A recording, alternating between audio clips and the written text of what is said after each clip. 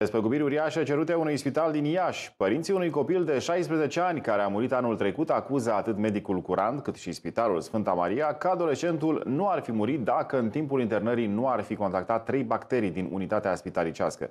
Familia a dat în judecată spitalul și cere o sumă uriașă, 3,35 de milioane de euro. Motivația, decesul a fost cauzat de infecții nosocomiale contactate în timpul internării în spital, desfășurându-se lucrări de șantier, precum și de decizii eronate ale medicului curant, inclusiv neconvocarea unei comisii abilitate care să analizeze posibilitatea transferului în străinătate.